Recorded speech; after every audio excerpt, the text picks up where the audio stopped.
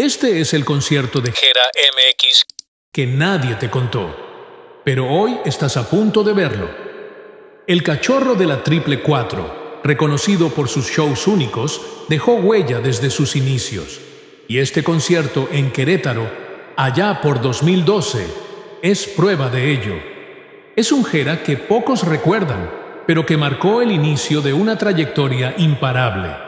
¡Mesa! ¡Mesa!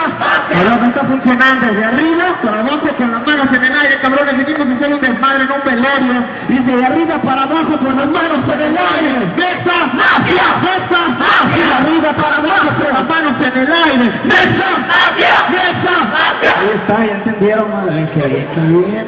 No, póngale que yo soy el primero que más.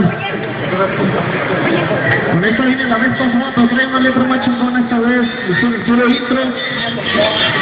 Vamos a ver con el pinche que está todo madre. Ahorita viene el secreto, Roca Mayer, su chispa.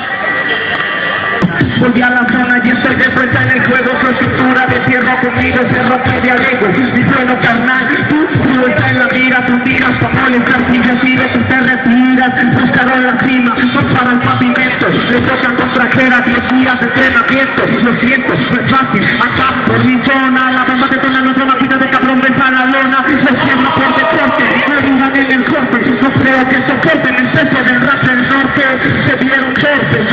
por un premio Solo son raperos certificados contra un genio De arriba para abajo con las manos en el aire Mesa, mesa, de arriba para abajo con las manos en el aire Mesa, mafia, mesa.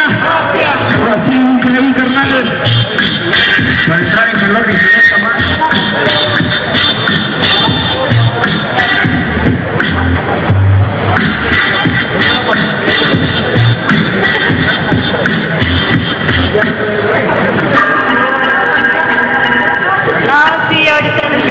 duda la disciplina, la constancia y el talento llevaron a Jera MX a convertirse en uno de los grandes del rap mexicano.